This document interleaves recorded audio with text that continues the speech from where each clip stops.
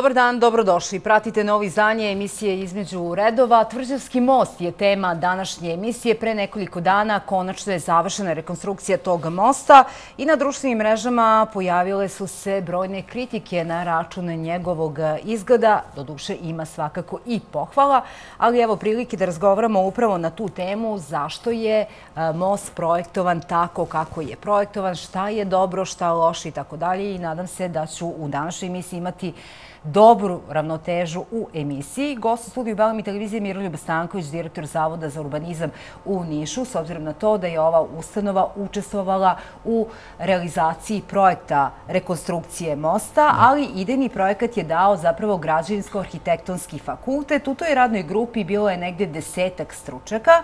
I gospodin Stanković će komentarisati upravo ovaj projekat, ali za početak čućemo gospodina Ivana Redija, arhitektu, e, koji je prokomentarisao e, projekat i on je e, na početku ovog intervjua rekao da je najvažnija stvar u stvari da je Tvrđavski most projektovan 50. godina prošlog veka, da ga je projektovao Jovan Canić, tadašnji inženjer mašinske industrije i da je upravo gospodin Canić za ovaj Tvrđavski most dobio tadašnje najviše priznanje grada Niša, odnosno oktobarsku nagradu. Slušamo Ivana Redija. On je imao jasnu i konturu mosta, ali i ukupnu formu. Tako da je za mene bilo pitanje etike, da li neko sme da to primi na sebe, da jedno delo koje je opšte dobro podvede pod neke svoje estetske kriterijume. Ja ne govorim o tome da li je novo rešenje dobro ili loše. Svako rešenje ima i svojih i dobrih i loših strana. Svako od nas na svoj način tumači ovo mi se sviđa, ovo mi se ne sviđa. Ja ne idem tom logikom. Kad govorimo o ovom mostu, ja pokušavam prvo to etičko pitanje da stavim u prvi plan, pa onda drugo, ako smo već odlučili da gradimo novi most, postavlja se planersko pitanje. Zašto ga gradimo? Jedan od razloga je bio da je slabe nosivosti, da je popustio, da ga 60 godina nismo održavali, što je nonses, mislim, pustiti čelični most da se ne ofarba eh, na rubu ovog razgovora. Eiffelovu kulu, kad završe, dođu do gore, počinju da je farbaju od prizemlja. Ovde je bilo potrebno da makar dva puta u ovih 60 godina se most ofarba. Nije činjeno i činjenica je da je most počeo da popušta. Međutim, šta smo mi uradili? Jesmo li to popuštanje mi na ključni način rešili? To što je on korodirao na pojedinim mestima, na nosačima, na perifernim delovima, je u principu estetsko pitanje. Dolazi peskaranje, dolazi ponovo miniziranje, dolazi farbanje, taj se problem rešava. Ozbiljan problem je bila ova sad crna štrafta koja se vidi, to je mesto gde se most spaja sa čvrstim delom trga. Taj deo je zbog nečinjenja propale gume koja je se nalazila u tome, e, korodirao i to je bilo jedno ozbiljno slabo mesto. Međutim, e, rekli smo, pretvaramo ga u pešački zato što je oslabio.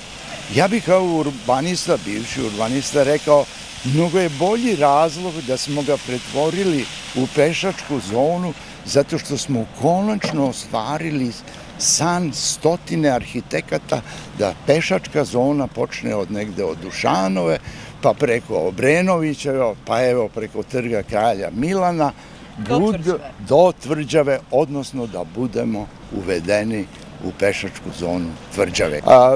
To je bolje pitanje za moju suprugu koja se brine o prozorima ovaj, kod kuće. Činjenica da staklo se teško održava, pogotovo što je niš ima prašnjavih dana, često imamo i afrički pesak, tako da će održavanje samo sa tog stanovišta biti dosta teško. Drugo, refleksije koje će se javljati kad je staklo prljavo, će biti značajne, će kvariti pogled na Nišravu koja često nije po volumenu velika, ali je još uvek bila atraktivna. Ja to često ovako slikovito formulišem. Bolje se vidi kroz rešetke nego kroz zamrljano staklo.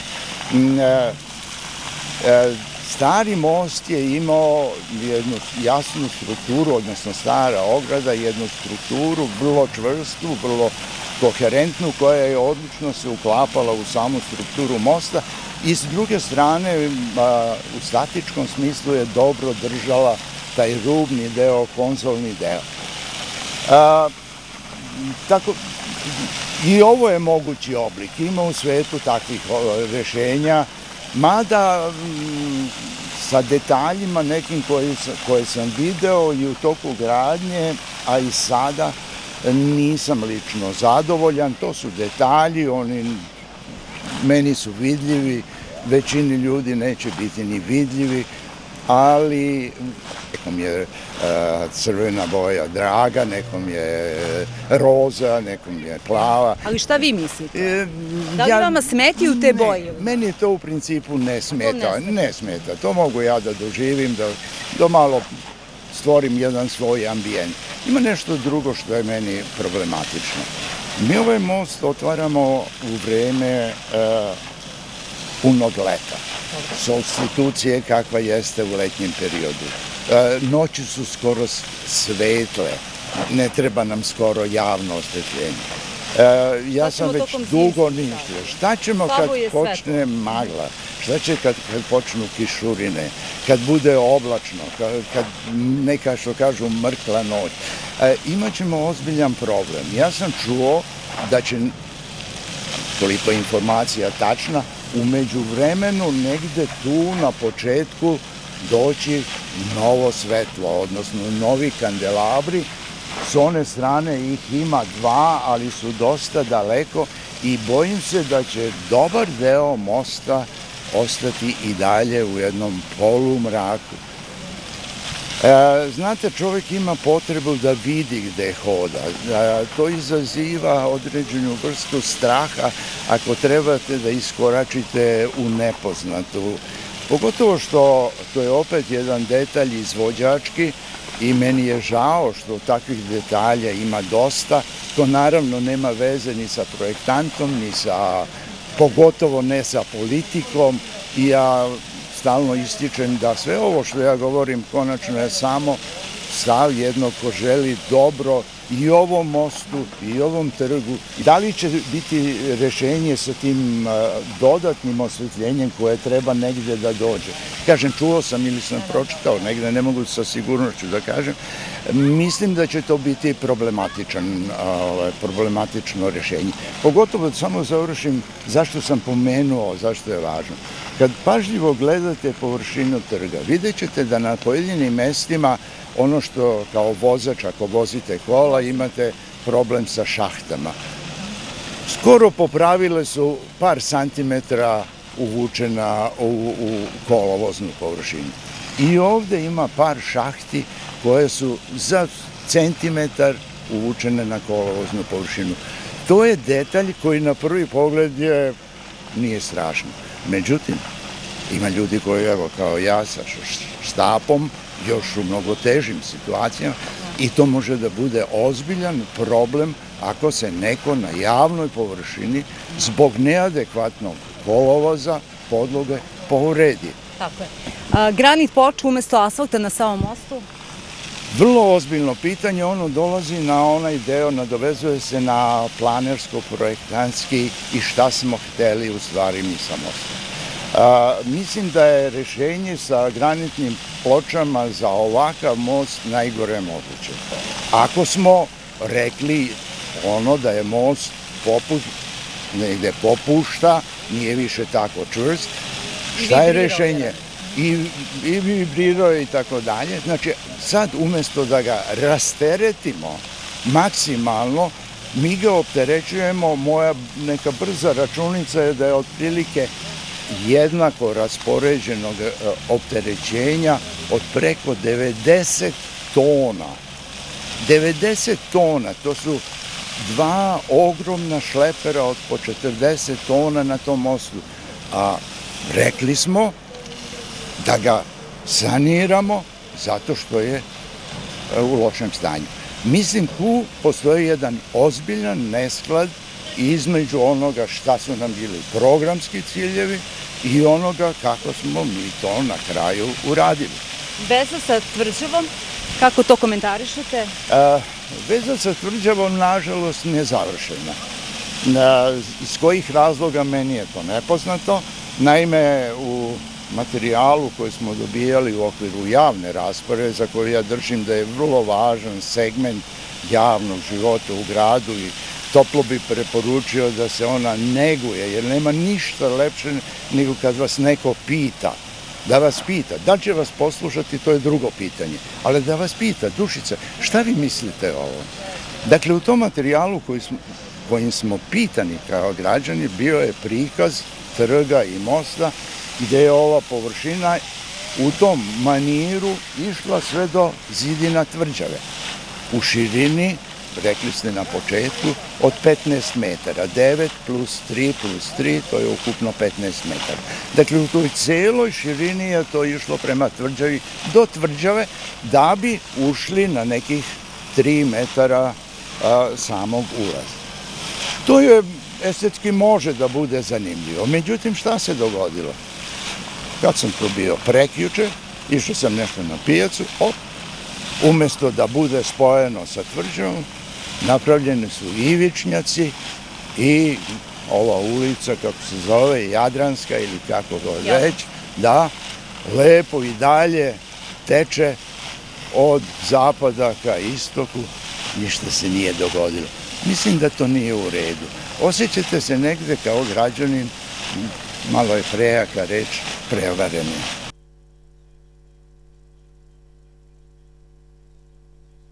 Da, i evo nas ponovo u studiju. Čuli ste Ivana Redija, arhitektu i čini mi se da je dao vrlo konkretne zamerke. Gospodin Miroljub Stanković je tu koji će dati odgovore upravo na te zamerke, ali ću pre svega toga ja posjetiti gledalce da je rekonstrukcija Tvrđavskog mosta počela 3. marta 2020. godine i da je tada bilo rečeno da je rok za završetak radova četiri meseca. Inače, izvođač radova je Beogradska kompanija Termomont.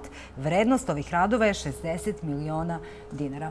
Gospodine Stankoviću, rekli ste da na početku današnje emisije želite da kažete da je veoma važno ono što se događalo 90. godina u vezi Tvrđavskog mosta. Insistirali ste na tom. Pre ovoga ste mi rekli da ću ja komentarisati ovo. Ja Eh, ću argumentima probati da neke stvari komentarišem, pošto poštujem kolegu Ivana Redija. Ovo je njegovo viđenje. Ja sam u prilično segmenta sasvim suprotnog mišljenja i eh, moram da kažem da je u gradu Nišu nepotrebno stvorena veoma negativna klima o ovome, a ja evo zato hrabro želim da izjavim sledeće, da sam ja ponosan na ovo što sada imamo, i kao stručnjak, urbanista koji 30 godina prati ovo i i objasnit ću vam zašto ja mnogo godina čekam da dođe do ove realizacije i zašto sam ja sada presrećan. A, I mislim da ne trebamo da budemo negativno orijentisani. Mi smo dobili strašnu pozitivnu transformaciju naše centralne zone. Ja ću to možda kasnije argumentovati. E, a pomenuli ste 90. godine, sam ja tako rekao. a, Mi ovo što se sada desilo čekamo ili posmatramo znači tačno 31 godinu. Evo zašto mogu da kažem da je to tačno 31 godina. Te 90. godine u vreme postojanja stare Jugoslavije, SFRJ, je raspisan opšti javni anonimni konkurs za uređenje pešačke zone u Nišu. Ta pešačka zona je obuhvatala od Tvrđeve do Kopitareve ulice. Tada je Kopitareva bila ruglo, kroz koje se nije prolazilo, bio je onaj toalet i tako dalje. Rezultat tog konkursa iz 90. je realizovana Kopitareva, realizovana Pobedina ulica, realizovan stari deo trga oslobođenja oko, oko robne kuće i evo sad smo svedoci da je zadnjih par godina ovo realizovano. Pazite, taj konkurs je, mi kao urbanisti, uvek smatramo da je konkurs najbolji način za dobijanje najboljih rešenja. Na tom konkursu je učestvovalo devet autorskih timova iz cele one Jugoslavije, bilo je dane članova žirija iz cele Jugoslavije, bio je gospodin iz Skoplja, iz Mostara, A kako to vezi ima sada sa ovim mostom? Ima. Mi sada, ovo ovdje što sada pričamo je završetak nečega o čemu stručnjaci pričaju, projektuju i grade 31 godinu. I znači, vi sada pominjete 2020. a ja moram da kažem 1990. godina. Dobro, ali kada, kada e, govorimo o rekonstrukciji Tvrzanskog mosta, izvijem se što vas prekidam, verujem da građane u ovom trenutku interesuje da li ste vi imali više idejnih rešenja upravo za rekonstrukciju Tvrzanskog mosta, e, pa ste izabrali najbolje. Prvo, Ili koji smo, to jedno koji smo to mi? Mi sada iz 2020. Da. Ne, ja sam tada zastupao mišljenje da mi moramo da završimo realizaciju pešačke zone u duhu rada koji je pobedio na konkursu 1990. 1991. je u januaru okončan, e, znači konkurs je bio 90. a žiriranje i tako dalje je bilo u januaru, februaru 1991. To ja znam, zato što je ponosno mogu da kažem da sam kao mladi stručnjak, mladi stručnjak početnik bio, nisam bio član žirija, nisam dorasao tome da budem, ali sam bio stručni izvestioc i ja sad, ja emotivno pričam zbog toga što sam ja tada, te 90. godine, posmatrao i želeo da se to realizuje. Znate, da se prvo na građani rad realizuje. Najbolji, od devet radova najbolji. I evo, meni se ta želja ispunila 31 godinu kasnije, a to je sada. I zato ja hoću sada da primim sve neke negativne kritike na sebe i spreman sam da kroz vašu emisiju branim da mi treba da budemo srećni, nišlije, što smo dobili završetak pešačke zone, ne mosta, most je jedan detalj, nego pešačke zone smo dobili završetak drastično povećanje pešačke zone i tako dalje, kroz realizaciju ovoga svega i ja ću kasnije da vam to branim. Ali vi imate dobro takav način razmišljanja. Evo sad ćemo pogledati šaljive da slike mosta, a verujem da neko sa druge strane ekrana će možda reći ako na realizaciju određenih projekata treba da čekamo 30 godina, ode ceo život. Ajmo sad ovo. Pa to što 90-ih je počelo sve to. Znači, možeš jedna, dve rečenice da završimo između segmenta. Pošto vi sada ovaj, sve skrećete na šalju, vi ćete meni postaviti kratka pitanja, očekujete kratke odgovore. Tako je. A ja se uvijek u vašim emisijama trudim da imam priliku na duže odgovore, zato što imam šta da kažem. Pa, znači, ode. Znači, mhm. ispričao sam o 90. i 91. Da. Inače, trg, jer most je samo deo trga. Trg je urađen 1996. godine, ne trebamo to da zaboravimo, oko spomenika. I onda 25 godina, 24, nismo imali nikakvu aktivnost. E sada, ti Nišlije, ja sam bio strašno nesrećen što je 24 godine izgubljeno u završetku, ništa nije rađeno. Ali mi smo, da. E, I ja sam sada srećen što smo mi sad završili i samo da kažem, u toj radnoj grupi koju pominjete iz 2020. godine. Dobro, 2019. Deseta slučaka. Deseta, deseta. I u toj radnoj grupi iz 2000, ja bih rekao 2019. ali tu je negdje. 2020. je bila korona, pa nisu se sastajali, uopšte nije bilo sastanka. Mi rekao bi da je 2019. U toj radnoj grupi, ja sam, sad ja pričam o svojoj diskusiji, ja sam rekao ovako, dajte da realizujemo ovaj ostatak trga, ove tri četvrtine koje nisu bile realizovane, potpuno u duhu onoga što je oko spomenika, kroz e, e, e, slične materijale, granit, granit je granit i granit i tamo i ovamo, ali da bude slična tekstura, jer to je bio ukrajinski granit, pomalo radioaktivan, setimo se, iz 76. Sada je ovo finski granit koji je E, e, iz 96. njena se. E, znači, slična struktura, šare, e, eksterijeri i tako dalje, sve je slično kao tome. I mi, evo, evo još samo jedna rečenica. Rekao sam, ako uspemo da rekonstrukciju ne rekonstrukciju, uređenje trga, uključujući most, uradimo tako da neko ko nije Nišlija i dođe prvi put u Niš, da ima utisak da smo sve to radili u jednom dahu, od Voždove ulici, od Robne kuće do Tvrđave, da kao da je iste godine rađeno, a ne da smo imali pauzu 24 godine. Da ste vi dobro uradili I mislim da smo, mislim da smo uspjeli, uspjeli smo u tome, tvrdim vam da neko ko nije Nišlija i ne zna za ove naše e, pauze od 24 godina, da će on reći bravo, u istom duhu je ceo trg u istoj materializaciji, u istoj teksturi, u istim ornamentima i tako dalje. Glavna zamerka je zapravo da se dizajn mosta uopšte ne ukapa u prastaru tvrđevo, ali o tome ćemo diskutovati, da pogledamo šaljive fotografije sa Facebooka. Glavne zamerke je upravo osvetljenje suosvetljenje e, mosta i znate dobro da su Nišlije odmah počele da komentarišu te boje. Ono što je poslednja informacija to je da će most u buduće svetliti e, u kojim bojama? U bojama srpske zastave? Ne, ne. To će biti u nekim... A, niste li u toku granačnice tako kazala? Jeste, i juče je bilo to. I tako će biti, ali neće biti stalno. Znači, ja moram da kažem. Evo, pogledajte ovo. Ovo su boje koji su majstori prvog dana, ovo su prvog dana, što ja svakog dana obilazim jer volim da obiđem. Ovo je kao e, na Balkanu, gledao sam na to na internetu, ali samo da kažem nešto, ne znam zašto, mislim sve najgore. Zašto? Gledajte, mi imamo sada ta svetla, ona su univerzalna, sve boje su prisutne u ogradi, to je u okviru ograde, rukohvata koji je predimenzioniran namerno da bi primio svetla. Su prisutne, instalirane sve boje. To što su majstori koji su isprobavali, ostavili ljubičnost, u stvarno ne znam. Ovo je prvog dana. Ovo je sad fotomontaža. Ne, pitanje za vas, da, e, fotomontaža. Znači, pitanje znači, za vas, da li ste vi kao projektanti zapravo zamislili ovako upravo da ove boje?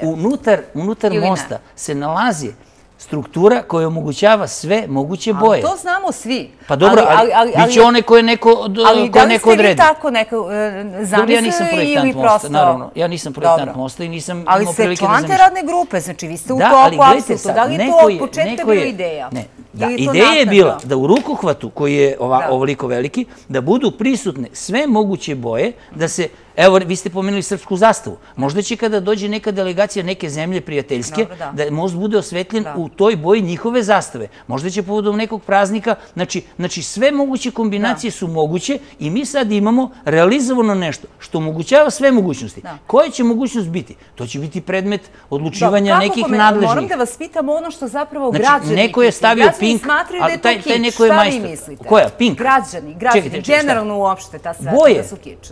Pa kako mogu svetla da budu. Pa čekajte polako. Pa čitali ste komentare? Pa naravno, ali se ne slažem. Kao što i za fontanu kažu da je to kič. Nije tačno. Zašto ne bi bile boje? Pa to je bogatstvo vode, boje, možda će biti i muzika. Mi sad trenutno nemamo muziku, Zašto ne bi bila i prigodna muzika? Ne znam zašto da sputavamo sebe u korišćenju svetlostnih efekata. Ja samo da vam kažem nešto. E se sjećate vi pre nekoliko godina, kad je projektovano, kad mhm. je na tvrđavski zidine, zidine, autentične sadašnje turske iz 18. veka, početka 18. veka, kad je projektovana neka prezentacija onako desetak metara sa projektorima, I niko tada nije prigovarao zašto se to radi. To su savremene tehnike prezentacije raznih strana. Znači, most može, ako se želi, da ne budu boje, da uključe, da bude stalno beo i da bude večito beo. I to je moguće. To je apsolutno jasno. Pa ja samo vama želim da kažem komentar. Ko je dozvolio sve tu boji? Kakav je to kič? Šta rade naše poznati i priznate arhitekte? Zašto čute? Znači- Koji na osnovu čega bira svetloste tonove budućeg mosta? E, to ko bira, to će se vidjeti ko to bira. S obzirom da je dodatno opterećen granitnim počama. Znači- to je također pitanje, o tome ćemo kasnije. Mogu da na to? Ne, zašto ne bi sada to odgovorili? Jer je Ivan Redi to komentarisao. Ta teza je potpuno netačna. Evo zašto.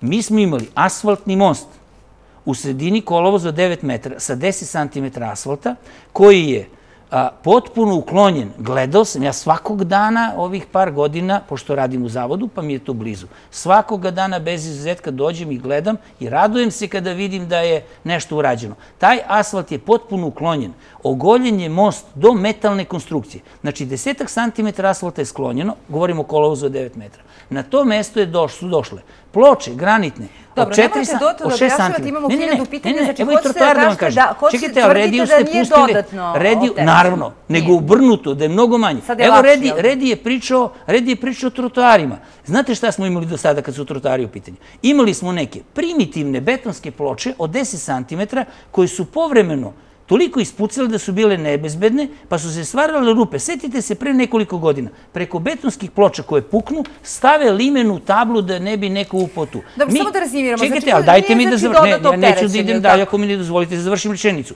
Trotoare od 10 cm betona, oni su sklonjeni, ostoje cm lima i preko toga granit od 4 cm na pesku od 2 cm. To je statički skoro duplo manje nego ono što je do sada bilo opterećeno. Statičari sa građanskog fakulteta, to su profesori, profesori, asistenti i docenti.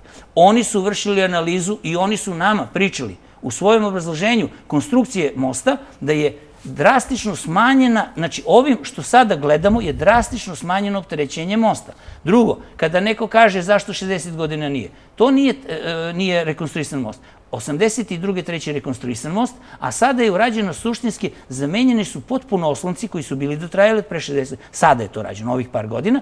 I unutrašnjost mosta nije farban most polja. Dobro, staklena ograda teško se održava, kažu kako baš izbor taj. Ja ne mogu da završim misao. Znači, most je bio truo iznutra. Mi imamo kutiju koja je šuplja, kroz koju su varioci i oni koji bruse i oni koji peskare ulazili na samom osloncu hodaju, a posle puze. I sve su to iznutra što građani ne vide. Potpuno, kako da kažem, e, e, e, peskarili, to je prava njihova stručna reč, ofarbali i mi imamo sad suštinski novi most. Novi most koji može da traje još decenijama. Eto, ajde sad me pitajte. Staklena ograda. Dobro, u čemu je problem? Zato da se vidi reka Niševa. Zato da se vidi reka Niševa. Šta smo imali do sada? Imali smo varenu ogradu, evo, e, Ivan Redi upotrebio pravo reč, rešetke. Mi smo do sada gledali rešetke, a sad imamo staklo koje nam omogućava pogled na reku. Kaže, ta reka je povremeno mutna. Pa takva kakva je da je vidimo. Mi ćemo sada vidjeti da li je reka, i vaši snimci to pokazuju, da li je reka, da li je bujica, da li je nizak vodostav, da li nije. Šta je tu loše da imamo providnu ogradu kroz koje vidimo reku Nišovu, našu reku Nišovu. Slabo osjetite most u toku noći? Da, dobro.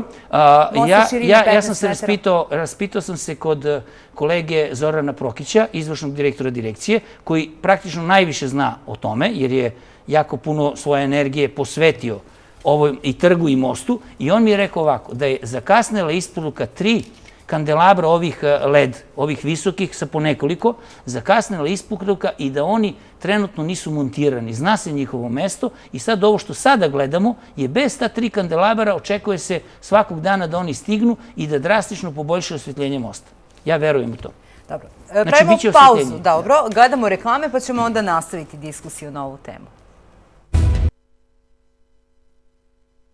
Dobrodošli nazad. Pratite emisiju između redova. Gost Belemi televizije je Miroljub Stanković, direktor Zavoda za urbanizam u Nišu. Govorimo o rekonstrukciji Tvrđevskog mosta. Otvaramo i brojeve telefona dakle, za vaše pitanja, komentare, sugestije i tako dalje. Umeđu vremenu čuli ste i neka od pitanja koja su se mogla pročitati eh, na eh, dakle, društvenim mrežama. Eh, Postoji, dakle, jedno pitanje, evo, da li je planirano dodatno osvetljenje? Vi ste već odgovorili na to pitanje, rekli ste znači da će uskoro biti su kasne u isporuci. Tako je, evo recimo, jedan od komentara je i sve ovo je novo komponovano za moj ukus, predugo je rađen, sigurno i puno košta, tresla se gora, rodilo se šta i tako dalje. Rodilo se nešto jako lepo. Jer građani negde kažu da su probijeni rokovi sa jedne strane i očigledno da su građani mnogo toga očekivali. Mogu ja sad vama? Da, da. To su oni građani i stručnjaci koji su 24 godine čutali što je trg nezavršen i što niko ne radi na završetku trga. I sad im je tih godinu i po dana predugo. Ali niko... Mislim da je nezadovoljstvo posljedice zapravo probijenih rokova. Kojih rokova? Kojih rokova? Pa kako kojih rokova? Četiri mjeseca je trebalo da bude rok za rekonstrukciju mosta. 24 godine niko ništa ne uradi, a onda jednu i pol godinu imamo gradilište sa pozitivnim završetkom. Šta je tu probijeno? Šta je tu? Pričamo o godini korone, je li tako? I o studioznom, znači most je veoma komplikovana stvar, ali ajde, svako nek ima svoje mišljenje. Svako ima svoju viziju. Pa brzo prođe godin i po dana. Neko kaže, znate, imamo i na društvenim mražama jednu grupu se bavila time za koliko je izgrađen kineski most, za koliko je ovo, koliko ono i tako dalje, a koliko dugo je trajala rekonstrukcija Tržavskog mosta. Halo, dobar dan, izvolite. Ali vi šta god da kažem, vi ćete to braniti. Naravno, zato što sam ja u... Halo? Da, vi ste u programu, izvolite. Ja sam u programu. Dobro, nešto se slika kida. E, ja bih htjela za gosta dva pitanja. Da. E, prvo pitanje odnose na direkciju za urbanizam. Koja ne postoji? Dokle će da traje ta mukotrpna situacija u Nišu? Ako je to republičko pitanje, pa što ne rešava gradonačnica, on i ostali, a ne narod se pati godinama, ne može rešiti pati. Dobro, drugo pitanje. A, a, dru, a druga stvar, to sam postavio, pitanje gotovo, sad nek razmišlja. Da. A drugo pitanje, a kad je moš u pitanju, da. ja sam rođen i nišlija ovdje pre 69 godina, gde automoto društvo u kući se broju. Ovakvu bruku i sramotu kao što je ovaj most ne mogu da preživim, verovatno ću da tražim polici i familiji da se iselimo iz Niša. Ovo je strašno, samo da se pare uzmu, da se nešto bilo ili ne znam šta.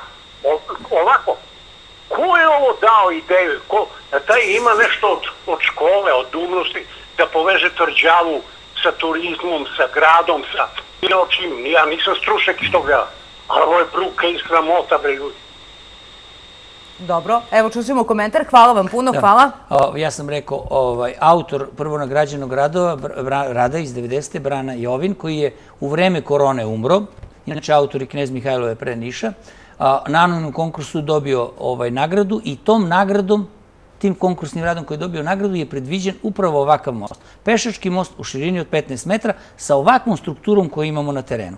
Ja sam ponosan na to što smo realizovali njegovu ideju i samo da kažem nešto. U trenutku kad je radio konkurs, Nade Tomić, ulica, je izlazila na Voždovu, bila imala raskricu. U tom trenutku je u zoni McDonald'sa Voždova imala saobraćeni krak koji vodi preko mosta. Mogli ste iz Voždove da idete prema mostu. U tom trenutku je parking kod ambasadora vašeg Belamija ispred i ambasad, postoje parking U tom trenutku je 7. jula izlazila na most i odvijao se saobraćaj. I znači, taj, realizacija tog konkursnog rade je potpuno ukinula saobraćaj, osim voždovo lice, što je neminovnost, ukinula saobraćaj iz centra grada. I to je nama omogućilo da pešačku zonu proširimo ne samo oko spomenika, nego do oficirskog doma preko ovog prelepog parka koji imamo. I znači mi smo sada upetostručili zonu, pešačku zonu sa uključenjem parka, sa promenadom u zoni bivše ulice 7. jula koja je bila Kolska, a sad je većim delom pešačka. I to je to. I ne vidim šta je tu, šta je tu loše. To je ostvarenje rada konkursnog ideje koju ja simpatišem. Tako je, ali morate da poštujete mišljenje i naših sugrađana. Ono što je za vas dobro i što je lepo, ne mora da znači da za nekog drugog lepo. Ne meni dajete pravo da pričam. dobar dan. Samo da čujemo ga da sam. Dobar dan. Halo. Izvolite. Dobar dan. Dobar dan. Pozdravljam normalno vaši i vaših gosta. Hvala. Imam dva kratka pitanja. Da. Da li mostovi služe da ljudi pređu s jedne strane reke na drugu stranu reke? Da li je moguće da mostovi sada služe vašem gostu i e, gradskoj struci da šetaju ljudi po tom mostu? Koliko šetača treba da pređe preko ovolikog mosta, pa u Nišu ne šetaju 5 miliona ljudi? To je jedno pitanje, predimenzionisam.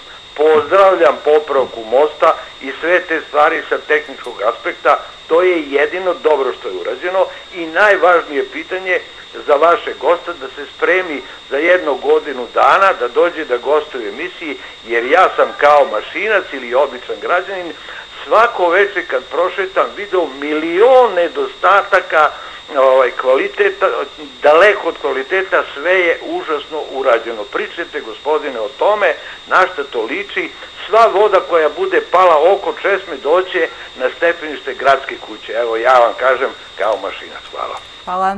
Gledajte ovako, u tim komentarima koje smo slušali, nerazumevanje je bilo, e, čitali, čitali na internetu, nerazumevanje je bilo toliko veliko da pola oni koji komentarišu, oni pričaju o tome da zbog toga što most nije rekonstruisan, saobraćaj ne može da ide preko njega. To samo pokazuje da to ili rade neki koji nisu nišlije ili neki koji samo namerno žele sve negativno. Znači, Most je pešački, suštinski i nikada niko nije imao nameru da kroz ovu rekonstrukciju vrati kolski saobraćaj. Gde bi išao taj kolski saobraćaj? Kroz 7. jula, pa to smo imali i to nikako nije bilo dobro. Mi smo do pre godinu i po dana imali parking na najvažnijem, najskupljem, najboljem mestu u Nišu je bio parking.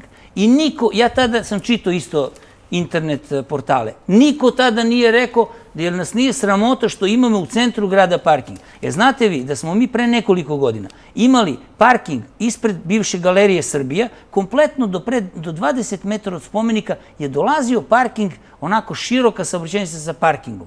E, to je činjenica. Mi sada to više nemamo. Imamo kontinuitet od, od robne kuće ili od Pobedine ulice ili tako dalje od Dušanove, kontinuitet sa prekidem u Nikole Pašiće i Voždovoj i Jadranskoj, to bi prokomentarisao ovo što je Redi rekao za ulazak u Tvrđivu, do Tvrđive imamo kontinuitet pešačke komunikacije. To nismo imali.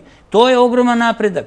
Isključen parking, ispred galerije Srbe. Isključen parking na mestu, neću reći e, naziv pod kojim nišli znamo taj parking, isključen na 7. jula. Znači, nema saobreći u centru ili je besmisleno da neko zauzme parking mesto na ceo dan. I e, evo za kraj. Redi je rekao da nije zadovoljan time što most dolazi do tvrđave i iznenadio se kako to do ulica. Pa znate vi šta bi značilo, kakav bi haos značio kada bi sada ukinuli kolski saobraćaj ispred tvrđave. To je nužno zlo, ona mora da ostane privremeno. Ja sam siguran da će nekada biti rešeno nekim zaobilaznim saobraćajnicama, će biti rešeno, ali sad je nemoguće ukinuti. Znači, urađeno je ono što je bilo moguće, u nekom narednom periodu će stručnici za saobraćaj naći rešenja da i taj segment koji se sada prelazi preko semafora da bi se ušlo u tvrđavu, bude pešački. To je želja, ali sada nije bilo moguće to da mhm. uradimo. Kvalitet izvedenih radova? Ja to ne bih komentarisao zato što, pa zato što nisam nadzorni organ, zato što je garantni rok još uvijek u toku. Ja bih rekao da je u pitanju... Ako vam kaže da meni nešto smeta. Ništa vam ne smeta? Ne, ne, ne. Ja samo hoću da kažem, ljudi su strogi. Ovo što pričamo je eksterijer, interijer i eksterijer su dve ogromno različite stvari. Interijer je perfekcija. Perfekcija linije, površine i tako da je. Eksterijer nije to. U arhitekturi nema toga. Pogledajte malo, u odnosu na ove sada izvedene radove, koje svi se, znači ono, strašno. Ajde da pogledamo e, trg e, oko spomenika i ispred Belamija. Kako on sada izgleda? Sa svakom trećom pločom izlomljenom, od strane šlepera koji kad je nova godina uđu u trg, istovaraju zvučnik i tako dalje. I to niko ne kaže zašto ne zamenimo ploče koji su iznovljene. E, znate da nam je u Pobjedenoj ulici, iste su ploče u Pobjedenoj ulici, oko foruma svaka druga ploča izlomljena, kad su radili forum, niko to nije vratio u prvo bitno stanje, svaka druga ploča izlomljena. E, znate da vlasnici baš tu u Pobjedenoj ulici, šrafe u ploče. Slomljene znači- upravo tamo ispred gradske kuće i tako dalje. Da li je normalno da nešto što je novo i što je tek urađeno bude slomljeno? Ja vas ne razumem. Pa tako, zato što su ivice tih grani ploča bile slomljene. Ja vas pitam o kvaliteti izvedenih radova. Za eksterijer, za eksterijer, ne, ne, nisam to rekao. Ja samo hoću da kažem, ovo je eksterijer.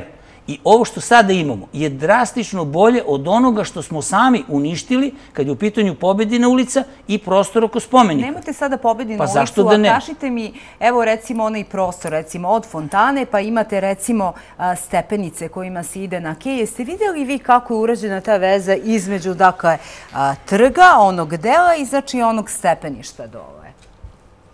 Da, tu je... Način koji je to urađeno. Jeste vidjeli vi gdje su one stepenice, pa sa leve strane kako? Tu ima 7-8 cm denivelacije i oni su samo to izbetonirali. U pravu ste. A da li ste primetili taj beton koji stoji tu? To je denivelacije posebno pitanje. Taj beton koji stoji tu, jeste primetili da ne postoji ravna linija, znači tu, nego cik-cak, znate, ono kao neko fušeraski, onako neki lajk došao koliko nema uopšte veze sa tim poslom, pa je malo ovako, ovako, ovako. Nemojte tako. Pa kako, evo, pogledajte, Dobro, evo, ja ću sad izjavim nešto, pa neka ljudi budu nezadovoljni, neka mi se smeju. Hajde, reži, ako možete da pustite upravo taj kadar. Mogu ja da dam svoju rečenicu, pa šta bude, bude. Vi meni ne verujete to što ja vam Ja vama verujem, ali pa neko ko dolazi negativno orijentisan, on dođe i gleda greške. Ja sam do sada gledao toliko lepih stvari da još nisam stigao da pređem da gledam greške. Toliko sam zadovoljan širinom. Da, da, jeste. Dobro, ta denivelacija vam to smeti? Koja je denivelacija? Pa zato što od fontane, znači kada krenete ka mostu, zaista imate ovako vijuge, gore, dole, gore, dole. E, sad ću da vam kažem nešto. Gledajte, ima jedan komentar koji je vidio, znači, gde neka naša sugrađenka kaže nisu koristili libelu. Aha, da, da. Pa naravno da nisu. Libela se nije koristila na mostu uopšte. Pa jeste, most ima podužni profil ovakav. On uopšte nije ravan. Most. Metalni most. On nije ravan. On ima on ima konstruktivno zakrivljenje i sa donje i sa gornje strane. Dalje, u poprečnom profilu on ima bivši trotoari, idu na unutra, jedno tri metra, pa ima slivnika, pa imaju konusnu ravan koja isto nije ravna. Znači, nijedna tačka mosta nije ravna i nije pod libelu. Ne može, zbog odvodnjavanja. Ne govorimo o mostu, već govorimo o ovom prostoru i ispetu. Idemo na gledalce. Halo, dobar dan, izvolite. Dušice, pozdrav i vašem gostu. Hvala. Mogu oni da se brane naši stručnjaci koji su zaista, ne mogu ni da kažem da su stručnjaci. Ja ne znam da su završili škole, stramota za Niš. Ljudi Nišlije su jako kritični, pametni ljudi, vide šta valja, vide šta ne valja. Znate na što liči ovaj most? Kao neka skela. Gde postoji sa zastakljeni most, pa dete udari glavu, treba čak da je viši, da je Ja ne bi most pustila u, u promet, što bi rekli, no, dok se ne završi kako treba, pa makar još dve godine. Pokojni moj svekar je radio most, min, kad je radio, radili danju i noću i preko vremenu i bez para, za četiri do pet meseci su uradili. Ovo je sramota za grad Niš i mislim da svi ljudi koji kritikuju su u pravu, ovo je sramota za naše stručnjake, ponovo da idu u školu. Pozdrav! Kada bi vratili ono što je bilo, to bi bilo strašno. Parkinzi, saobraćaj, denivelacija. A samo da kažem nešto za most. On je imao kolovoz od 9 metra i dva trotoara od 3 kada je oko 2017. godine zatvoren za saobraćaj, ja, ja mislim da je to 2017. ja to vezujem za neke ljude, a, zatvoren za saobraćaj, i ja sam stavio i posmatrao sam mentalitet ljudi koji prelaze preko mosta. I, i često sam tamo.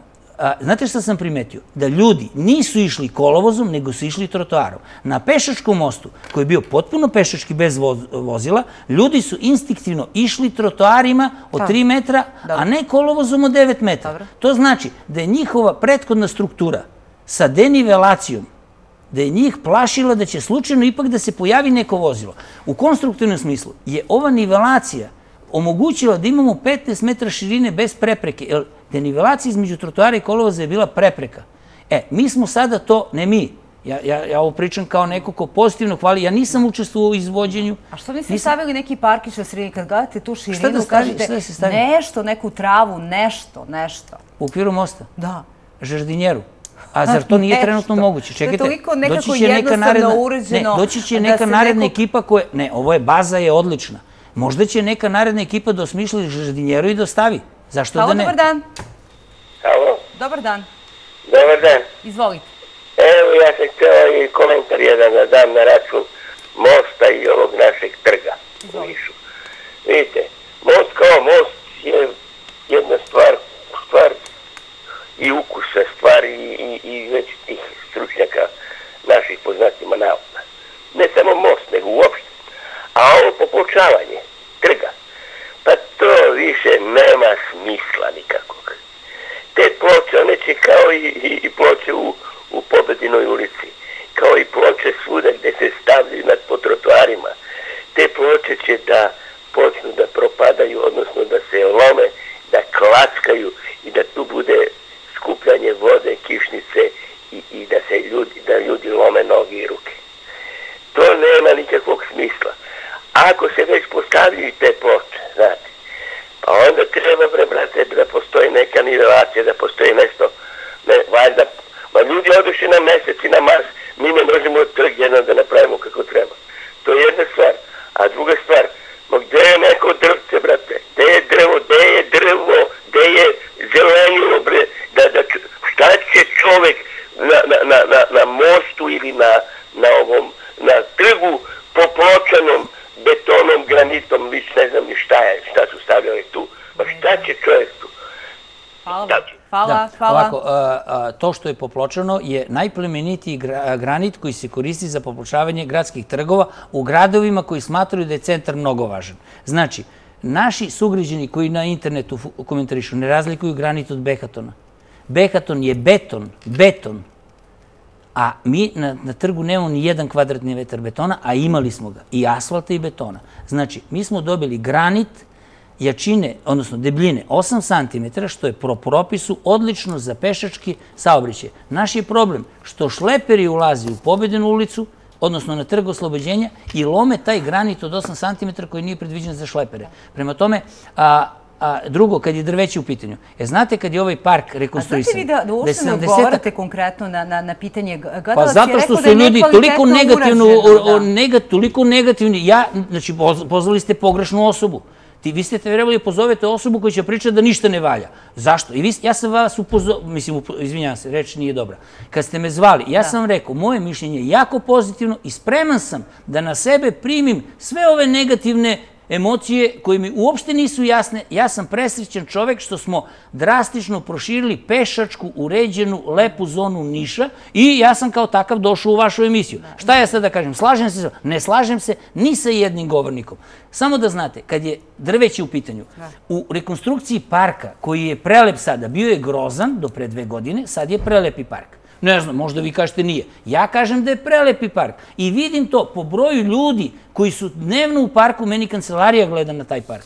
Koji su dnevno u parku, koji su uveče u parku, koji je ranije bio prazan, a sad je prepun. U njemu je zasađeno 70-ak novih stabala, koja nisu porasla, ali je zasađeno 70-ak novih stabala. Na tom trgu, na mestu gde je bio parking, ispred spomenika Petra Bojovića, je sada šest prelepih drveta, koje su još slaba, zasadili ih, iako je pomedijana odabrala neke specifične vrste, znači koje će dovesti do toga da kada one kroz par godina izrastu, oni su sad na terenu, ko ne veruje, neka ode, neka pogleda. Šest novih stabala na mestu bivšeg parkinga. To će napraviti takvu hladovinu u narednom, ali narednim godinama moramo da se čekamo. Poslednje halo, dobar dan. Halo, dobar dan. Dobar dan, izvolite.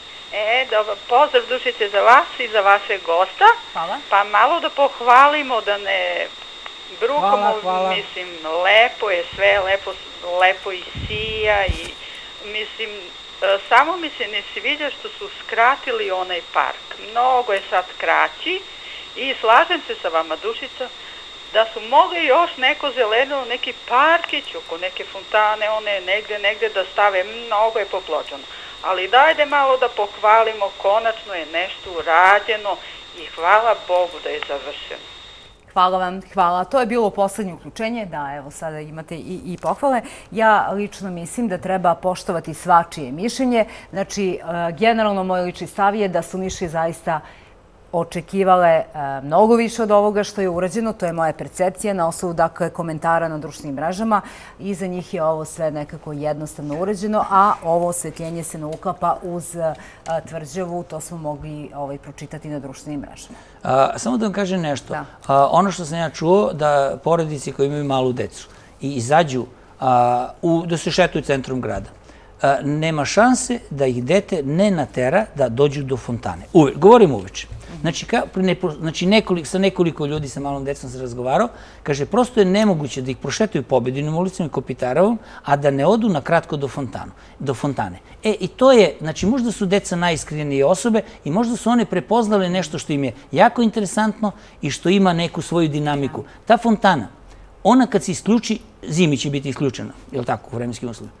Mi nećemo ni znati da je fontana. Imamo pešačku partijnu površinu gde će se dešavati, evo, ako ja imam pravo da nekako poentiram na kraju, pretpostavljam da imam. Ja, ja imam jednu ideju koju svuda pokušavam da pričam, ali sad sam prvi put prilici na televiziji da pričam. Ja mislim da naše proslave nove godine, koje se dešavaju u jednom jako ne, ne, ne, ne, ne, neprimerenom prostoru oko robne kuće i ispred Belamija, da tako nazovemo, oko spomenika. To je do sada bilo, decenijama da treba da se dešavaju na novom, ogromnom, e, praznom prostoru gde su sada i trg, i most, i fontana, i promenada prema 7. jula i ukosu se iz te tačke vidi Kej i čuje možda razglas koji će biti u tom delu i prostor oko spomenika će moći da primi put. Znači, to će biti prostor za javne manifestacije. Znate, kad imate one maturante koji nemaju gde da...